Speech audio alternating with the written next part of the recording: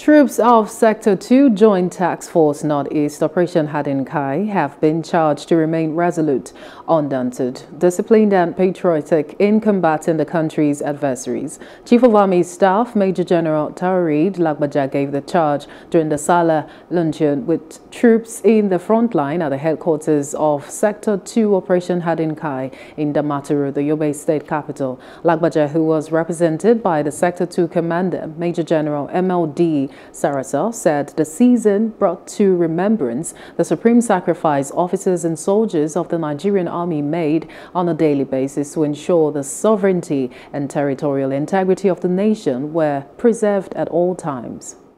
I intend to consolidate on prior achievements of the Nigerian army towards ensuring that the complex security challenges confronting our nation are completely decimated.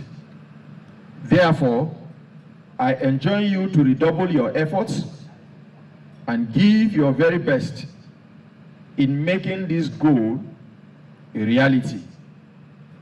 On my part, I pledge to make your welfare my utmost priority.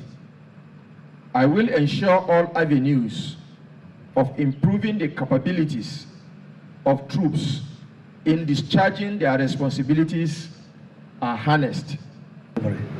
On behalf of the security advisor, uh, General Eru Absalam retired, I wish to congratulate all the Muslim Ummah, as, uh, especially our gallant soldiers, for uh, Eid, uh, Eid, Eid al-Kabir Mubarak.